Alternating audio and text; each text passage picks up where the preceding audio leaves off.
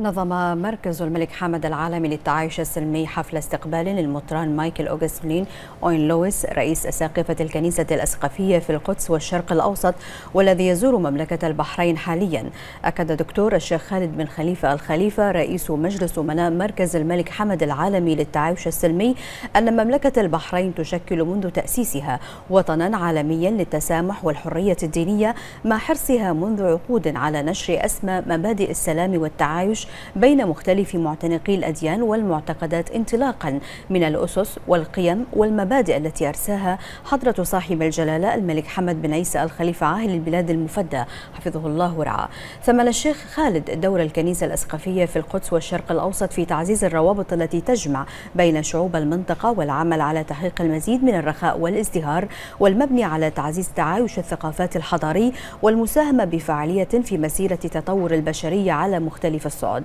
أكد الشيخ خالد أن مركز الملك حمد العالمي للتعايش السلمي يتطلع لتعزيز التعاون مع الكنيسة الأسقفية في القدس والشرق الأوسط وبحث أوجه التنسيق الثنائي لما فيه خير شعوب المنطقة وتعزيز قيم التسامح والتعايش السلمي وضمان الحرية الدينية في مختلف الأقاليم.